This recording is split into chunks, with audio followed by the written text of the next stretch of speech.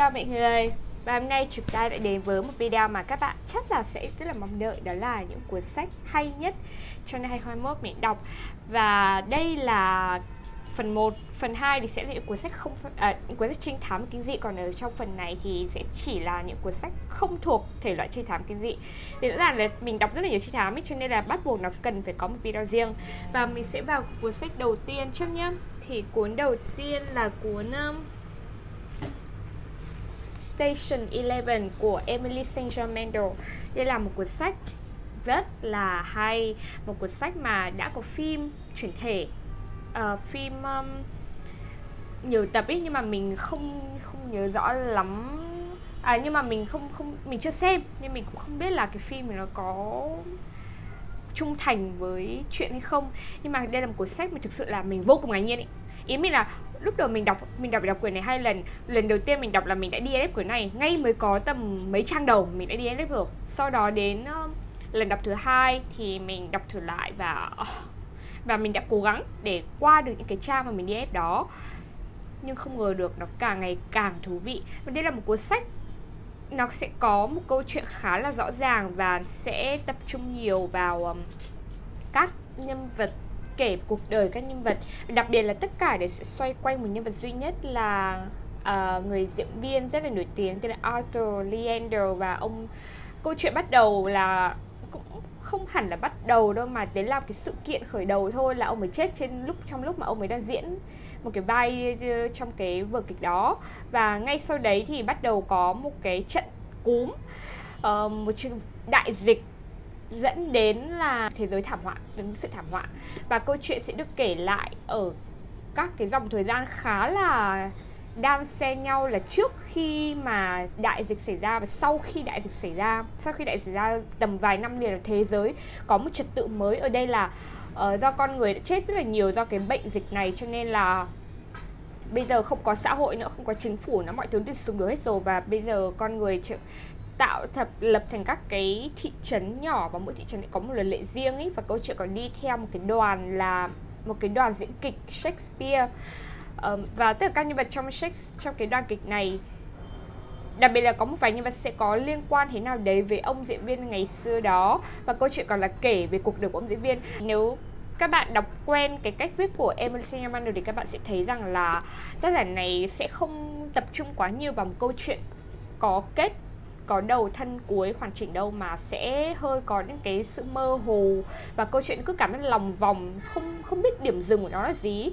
Nhưng mà thực sự cái cách viết được quá là cuốn hút ý. quan trọng hơn cả là của Station Eleven này vẫn có những cái điểm dừng vẫn có hẳn một câu chuyện rõ ràng. Nó cũng không, không quá rõ ràng nhưng mà rất rõ nhưng mà ít nhất thì nó sẽ rõ hơn nếu các bạn có đọc một cuốn thứ hai của tác giả này là The Glass Hotel thì cuốn đấy thậm chí còn mình còn không biết nó nói gì nhưng mà cuốn này ít nhất mình cũng đã hiểu mình hiểu nó nói gì và nó rất là hay. Một cuốn sách tuyệt vời các bạn. Hay đến mức mà mình đã phải mua cuốn này. Đấy các bạn biết rồi đấy. Cuốn thứ hai là cuốn ờ, One to Watch. Cuốn sách này là một cuốn ờ, lãng mạn hài lãng mạn và cũng là một cuốn sách mà các bạn nên đọc. Bởi vì nó nói không chỉ là đơn giản về uh, tình cảm lãng mạn bình thường đâu mà đây lại tình cảm của một cô béo. Đúng vậy, một cô ấy rất là béo và cô ấy đã phải chịu đựng những cái lời dèm pha, những cái sự khinh bỉ, trêu chọc bởi vì ngoại hình cô ấy. Nhưng bù lại cô ấy là một fashion blogger, một người viết blog nhưng mà chuyên về thời trang, cô ấy tư vấn thời trang và cũng rất là nổi tiếng, một blogger nổi tiếng. Trong cái đời tư tình cảm của ấy thì nó rất là ừ, đi xuống xuống dốc và thậm chí cô còn đang yêu thầm một cái anh này anh hình như anh này diễn viên. Và có vẻ như cô ấy đang hy vọng rằng là anh cũng yêu mình cô ấy đang nghĩ rằng là anh cũng yêu mình ý. Và sau đó thì cô ấy có tham gia một cái chương trình nó hơi giống kiểu bachelorette uh, tìm chồng cho mình tìm bạn trai cho mình. Tất cả những người tham gia chương trình này sẽ là những anh chàng rất đẹp trai tuyệt vời. Cô ấy sẽ hẹn hò với họ và cô ấy sẽ chọn ra người để cuối cùng là hẹn hò cùng. Đấy thì cái khó ở đây là ai sẽ là người yêu cho cô ấy thật lòng? Ai sẽ người cô ấy chỉ vì nổi tiếng hay là vì được lên hình. Bởi vì cô ấy nổi tiếng và đây là cô được lên hình, nhưng mà quan trọng là ngoại hình cô ấy là cái trở ngại cho tình yêu của cô ấy. Đó là lý do vì sao mà cái anh diễn viên mà cô đã yêu thầm ấy có thể là cũng đang rất là do dự đến với cô ấy, bởi vì là anh ta không thích một người béo. Nhưng mà là một câu chuyện rất hay vì nó cần như làm cái sự ờ, phát triển về ờ, nhận thức của nhân vật chính là cái cô béo này. Mình không phải nhớ tên nhân vật chính này là gì mà cô ấy ờ, rất là mạnh mẽ. Cô ấy ban đầu làm con người khá là khá là uh, bất an với chính bản thân mình bởi vì ngoại hình cô ấy mà. Vậy cô ấy cảm thấy không khó mà có thể tin được bất kỳ một người đàn ông nào cả. Nhưng dần dần cô ấy đã học cách tin tưởng và đương nhiên có người yêu cô ấy thật sự mà hài tình cảm lúc nào cũng có hậu đúng không? Nó là cả cả quá trình câu chuyện thực sự rất là hay và nó là một, cuốn, uh, một cuốn sách đáng đọc và mình thấy mình thực sự thích cái, cái kiểu tham gia chương trình và tất cả những người đàn ông này và cô sẽ phải tìm xem cái kẻ nào là kẻ lừa đảo kẻ nào là kẻ tay chơi kẻ nào chỉ là chỉ là lợi dụng cô ấy và người nào là người yêu cô ấy thật lòng và có rất nhiều người đàn ông ở đây. Và chính chúng ta cũng được tham dự vào cô ấy và cũng sẽ gửi đoán cùng với cô ấy là ai là người thật lòng với cô ấy nhất ý ai là người sẽ yêu cô ấy đến cùng. Hm? Một câu chuyện rất là nhẹ nhàng rất là hay. Nếu các bạn có muốn tìm hiểu muốn recommend nào đấy về sách lãng mạn của mình. Cuốn tiếp theo là cuốn um, mình nói mình có review chi tiết của này đó là cuốn sử Tuyết của Yasunari Kawabata. Um, cuốn sách mà mình thích ở chính cái cách viết cách viết quá là ngây quá là thơ ấy. Nó quá là lãng mạn một cái kiểu viết mà không phải sao mình đọc mình đã cảm thấy một cái sự u ắt Dạ, yeah, khỏi u một cái sự trầm lắng cái sự lãng đãng. Câu chuyện này là chuyện tình thì cũng không đúng. Đó là một mối quan hệ vô vọng giữa một người đàn ông phong lưu ở Tokyo và một nàng geisha ở thị trấn suối nước nóng. Ở một xứ tuyết thanh bình u tịch nên thơ và đây là câu chuyện của thiên nhiên qua các mùa đẹp từng mùa bi thiết từng mùa. Tình yêu và cái chết đi theo con người và đi theo thiên nhiên ấy. Nếu để tìm những cuốn sách có những cái cách viết nó thể hiện ra rõ được dụng ý của tác giả thì đây chính là cuốn này. Ý mình mình cũng không biết phải nói gì thêm nữa vì tất cả gì mình đã nói thì mình nói trong cái review đó rồi. Như là mình thấy đẹp ở chính những con chữ ở đây và cái câu chuyện ở đây nó nó mối mối tình vô vọng, đó là cái sự vô vọng. Cái cách viết của tác giả và cái thiên nhiên lạnh lẽo này nó thể hiện ra rõ được cái um, vô vọng đó, cái cái sự bất lực, yêu trong bất lực bởi vì biết rằng là cái tình yêu này nó sẽ không đi đến đâu ấy. Hơi kiểu mê mải, người ta cứ theo đuổi mãi, cứ cố gắng mãi bám víu một cái gì đó nhưng mà nó không thành được. Và cái câu chuyện đó là một cái sự đối lập nữa cơ. Giữa cái anh phong lưu này, anh này rất là nhàn hạ. Anh ấy không phải làm gì. Nhưng còn cô gái geisha này, cô ấy làm mọi thứ, đúng không? Cô chấp nhận mọi thứ cô hy vọng lúc nào đấy sẽ được cái tình yêu của anh này nhưng mà nó quá là khó với tới được. Là và tất cả đặt trong cái bối cảnh xứ tuyết vô cùng là thơ mộng như này. Trời ơi mình mình đọc cuốn này mình cảm thấy được cái cái cái, cái trắng đấy cái màu trắng đó cái sự lãng đãng đó và cái sự im lìm cái sự tĩnh mịch của cái xứ tuyết ấy. Nó rất là gợi hình cuốn tiếp theo là cuốn um, mãi đừng xa tôi của Kazuo Ishiguro một cuốn sách dystopia. Mình nhìn cuốn này mà mình chưa bao giờ nghĩ nó là cuốn sách dystopia đâu cho đến khi mình đọc cái bài báo và mình phát hiện ra cuốn này hóa ra là dystopia thì lúc đấy mình mới đọc cuốn này. Uh, và thực sự cuốn này cũng có cái không cái cái cảm giác nó rất là lãng đãng. Nó không lãng đãng thơ mộng như của sử tuyết nhưng mà đọc lên chúng ta để thấy cái sự buồn cái nét buồn phảng phất và cảm giác của cái sự bấu víu, vô vọng. Bởi vì đến cuối cùng thì đấy là sự bất lực. Nó là sự bất lực trong cái thế giới này, chúng ta không thể làm gì khác được. Nó có một cái âm điệu rất là buồn thả. Buồn mà mặc dù các nhân vật cố gắng trong cái hy vọng đó vẫn tiếp tục nỗ lực để giành được lại cuộc sống của mình, chứ không chỉ đơn giản họ là như thế. Nhưng cái thế giới này nó đã ép buộc họ như thế rồi và khó mà có thể thay đổi được. Họ phải chấp nhận sự thật này. Đây là cái điều không thể tránh khỏi được. Khi mình đọc cái cuốn này, cái cái từ mà động lại cho mình, cái ấn tượng, cái từ duy nhất để có thể tả được cảm giác của mình về cuốn sách này chính là hoài cổ. Hoài niệm. Cảm giác đọc mà cứ như một cái gì nó xa xưa, cũ, nó vẳng lại và đó là điều mình mình cảm thấy ấn tượng với cuốn này. Vì cái cái cảm giác nó mang lại cho mình nó khiến mình động lại được như thế. Và Uh, còn cái thế giới dystopia này thì uh, sẽ khó để có thể giải thích được. Bởi vì uh, các bạn phải đọc thì mới biết được cái thế giới nào. Bởi vì đến tận nửa chuyện chúng ta vẫn không rõ được cái thế giới này là như nào cô và đó cũng là cái cái sự hấp dẫn của câu chuyện. Đó là tác giả níu kéo được người đọc giữ chân được người đọc cho đến tận nửa chuyện thì chúng ta mới biết được cái thế giới này nó rất là tàn ác như thế nào với các nhân vật trong chuyện Vậy đó lý do tại sao mà cái sự bất lực ở đây nó rất là rõ ràng nó rất là tuyệt vọng ấy ờ, cô nó cũng chính là cái sự tuyệt vọng trong quyển sứ tuyết kia thôi nhưng mà thể hiện bằng một cách rất là khác nhau. Cuốn tiếp theo là cuốn quả chữa ác mộng. Quả chữa ác mộng của Sylvia Plath. Đây là cuốn sách phải là cuốn sách duy nhất của tác giả này là tiểu thuyết duy tiểu tiểu thuyết duy nhất của tác giả này trước khi tác giả chết do tự tử. À, và đây là một câu chuyện nói về trầm cảm nói về tự tử. Nhân vật chính của chúng ta tìm mọi cách để tự tử.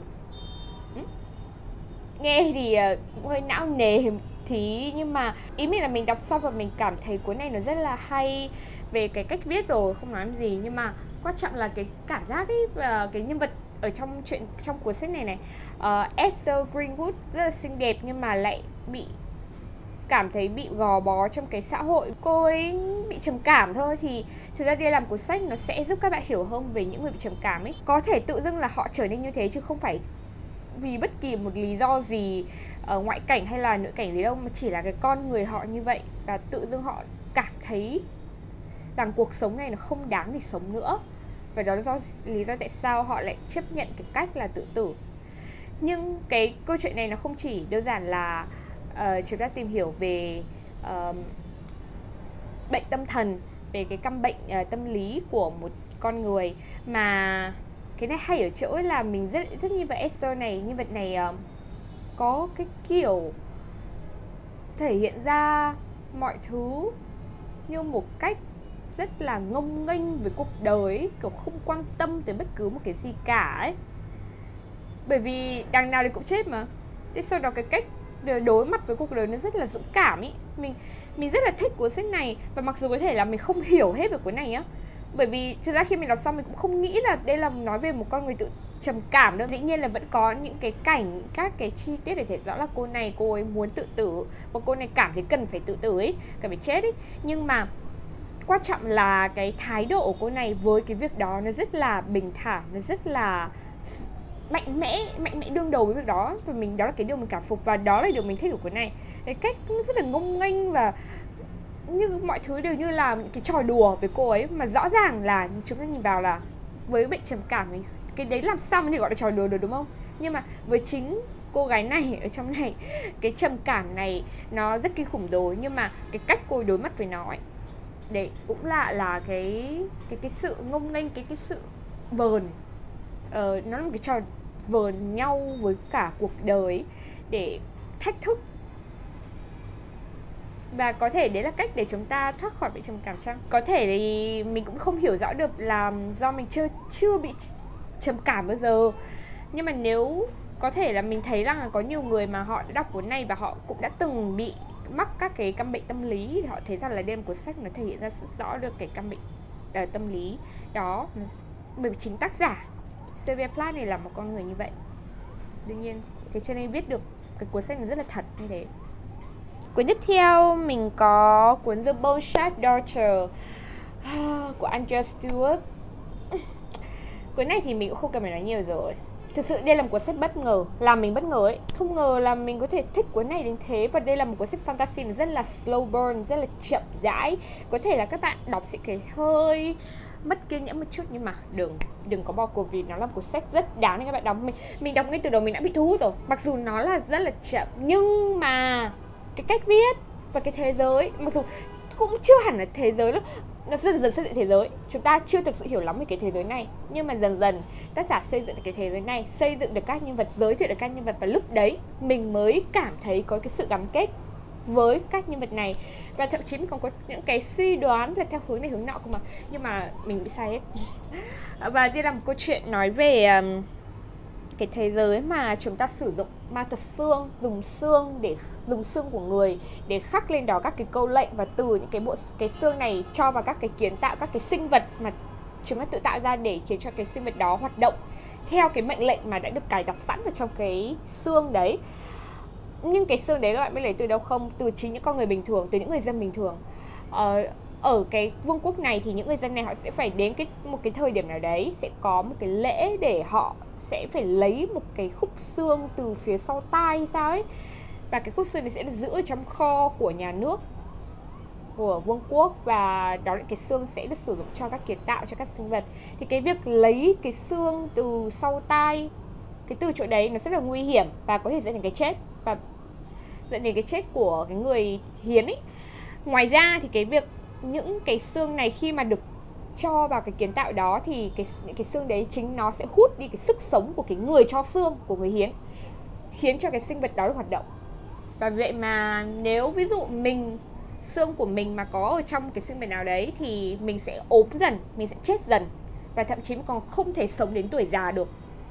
Và đã chết trước khi cái trước trước khi cả cái tuổi mình đã là chết ấy. Bởi vì tất cả sự sống mình là để cung cấp cho cái sinh vật kia rồi và khi cái, khi mình chết rồi thì cái xương đó không hoạt động nữa, thì lại rút xương ra vào trong cái xương khác vào. Nó như thế đấy. Và câu chuyện ở đây thì sẽ làm nói về rất là nhiều một số nhân vật. Thì tất cả các nhân vật này ở trong cả cuốn này thì gần như là loay hoay với chính mình ấy. Và sau đó thì họ sẽ thực hiện cái quá trình để tìm ra được cái vị trí của mình là thế nào. Đây là cuốn sách đầu tiên trong cái series. Và chắc chắn mình sẽ đọc cái phần 2 rồi cuốn tiếp theo là cuốn The Dragon Republic của FJ Khoa đây là cuốn tiếp theo của um, cái series uh, The Dragon Republic* uh, series Poppy War. Uh, cuốn The Poppy War cũng là một trong cuốn sách hay nhất của mình trong năm 2020 và cái cuốn sequel của nó cũng đã trở thành cuốn, một trong những cuốn sách hay nhất của mình trong năm 2021 đây là cuốn tiếp theo của The Poppy War và chúng ta tiếp tục cuộc chiến và lần này là cuộc nội chiến trong vương quốc Nicara này. Giữa phong kiến, giữa cái chế độ độc tài chuyên chế, phong kiến chuyên chế với một chế độ mới là chế độ dân chủ là The Dragon Republic. Và nhưng mà chính chúng ta là Rin cùng với sức mạnh mới mà cô ấy đã tìm được sẽ bị sẽ bị đứng giữa cái cuộc chiến này. Cô ấy sẽ quyết định giúp cho phe nào. Nhưng để cuối cùng thì chúng ta mới thấy được tất cả nó chỉ là những đây chỉ là một ván bài chính trị mà thôi. Và chính Rin cùng bạn của cô trở thành những con tốt trong cái ván cờ này. Rất là đáng sợ. Và liệu khi mà phát hiện ra sự việc này thì Rin sẽ làm gì tiếp theo? Và với cả vương quốc này sẽ vẫn tiếp tục những cuộc chiến xảy ra không? Hay sẽ nằm dưới sự uh, lãnh đạo bù nhìn của một thế lực khác. Và ngoài ra thì uh, Rin ở trong cuốn sách này cũng sẽ bắt đầu dần dần là tìm hiểu và làm quen và học cách sử dụng cái khả năng mới của mình. Đó là các vị thần. Ở trong này thì cái yếu tố fantasy ở trong thế giới này đó là các cái shaman ý những kiểu gọi là thầy pháp sư à họ sẽ sử dụng sức mạnh của các vị thần. Tuy nhiên là cần phải có một cái ý chí rất là mạnh, bền vững thì mới có thể thao túng điều khiển các vị thần. Bởi vì các vị thần rất là mạnh, nếu chúng ta không cẩn thận chính các vị thần sẽ chiếm lấy đầu óc tâm trí chúng ta và chúng ta phát điên, không còn là con người đấy nữa. Cuốn sách này rất là hay và nó cực kỳ bạo lực. Đây là một trong những cái series fantasy bạo lực nhất mà mình đọc được. Và hình như, không, mình nghĩ đây là fantasy bạo lực nhất luôn chứ không phải là một trong đâu mình chưa giờ đọc fantasy là nó, cái bộ kỳ nào nó lại cái bạo lực đến mức như thế này thì cuốn này nó có rất nhiều hình ảnh đáng sợ. Nó rất là bạo lực, nó rất là máu me, rất là tàn bạo, rất là hình ảnh. Nên nếu các bạn không chịu được sự bạo lực thì có lẽ nên tránh cái series này. Cuốn tiếp theo là cuốn Una Out of Order vâng cuốn này hình như mình cũng đã, mình cũng đã review chi tiết rồi và mình cũng đã nói quá nhiều rồi. Và các bạn biết rồi đấy, đây là một cuốn sách tuyệt vời một cuốn sách mình nghĩ là không còn có gì có thể miêu tả cái sự hoàn hảo của nó. Cách viết câu chuyện và nhân vật cứ đàn đọc mình càng thấy lôi cuốn ý. Mình không bao giờ có thể rời mắt ra được khỏi cuốn sách này. Một trong cuốn sách hay nhất mà mình từng đọc được. Trong cả suốt cuộc đời mình. Chứ không chỉ đơn giản trong 2021 nữa, nó sẽ là nằm trong top của sách all time favorite của mình luôn.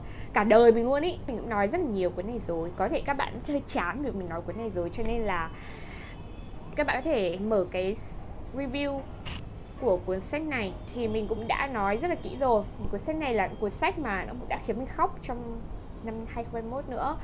Uh, rất là cảm động. Và các nhân vật đây tình cảm giữa các nhân vật nữa nó khiến mình cảm động xúc động thật sự.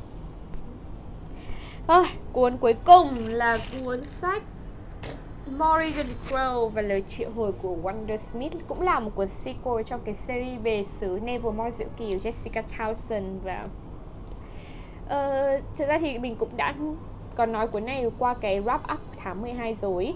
Thì có thể là các bạn sẽ mở lại wrap up tháng 12 năm 2021 mình thì nó sẽ kỹ hơn. Còn lại thì biết thế nào được bây giờ? Nó quá hay rồi. Nó không thể hay hơn được nữa ấy em nó còn hay hơn cả cuốn đầu tiên ý. Mình đã từng nghĩ rằng là thường thường là những cái cuốn về sau nó sẽ không có khó có thể hay bằng cuốn trước ấy nó nó không ấn tượng bằng ấy nhưng mà cuốn này nó còn hay hơn cả cái cuốn đầu là những thử thách của Morgan Crow cuốn này nó rất là tuyệt vời, nó rất là hay. Và mặc dù ấy khi mình đọc cuốn này thì mình thực sự không biết được là câu chuyện trong cuốn này sẽ là cái gì nó sẽ là vẫn chỉ là hành trình tiếp theo của Jessica à, của nhập của của Morgan thôi chứ cũng chưa biết là Morgan sẽ gặp lại những khó khăn gì. Ở đây khó khăn của Morgan chủ yếu là đi học ở trường và khi mọi người biết được cô ấy là ờ, không biết là cái này thì cũng là spoil nhỉ? Nó sẽ là spoil của cái tập tập đầu. Ừ, tức là cô ấy là một cái sinh vật này thì mọi người cảm thấy rất là e dè với cô ấy. Khi biết được khả năng cô ấy là gì e dè và vậy mà cái việc học cô này rất khó khăn và cô ấy sẽ phải thích nghi với cái cuộc sống học mới của mình như thế nào. Ngoài ra thì cô cũng sẽ bắt đầu dần dần khám phá hơn nhiều về cái bản chất khả năng của mình. Được một người thầy rất là bất ngờ dạy dỗ mình một cách bất đắc sĩ sau đó thì nó là những vụ án mất tích bí ẩn của một số những uh, sinh vật huyền bí ở trong chuyện này. Morrigan thực ra cũng không không có liên quan không có tìm hiểu gì nhiều lắm về những cái vụ án này đâu. Nhưng mà đến về sau thì cô bắt đầu có liên quan dính líu nhiều hơn ý thì bắt đầu sẽ có điều tra nhiều hơn phần đó. Nhưng mà ở đầu thì nó chưa có cái cái phần đấy đâu. Mà cuốn này nó hay ở biết nói nào giờ? Nội dung về mọi thứ. Mình chỉ, chỉ có thể nói thế thôi. Nó, nó rất là hay các bạn nên đọc phải đọc cuốn đầu đã rồi mới đọc cuốn này được. Nhưng mà sao thì hãy nhớ rằng là cuốn này nó còn hay hơn cả cuốn đầu đấy. Cho nên là hãy cố gắng để đọc cuốn đầu đi và chuyển sang cuốn này đi vì nó quá là tuyệt vời. Và mình cũng đã có cuốn thứ ba nên chắc chắn mình sẽ đọc nước cuốn thứ ba rồi. Còn gì nhỉ? À trong cuốn này còn có một cái lớp học mình rất là thích.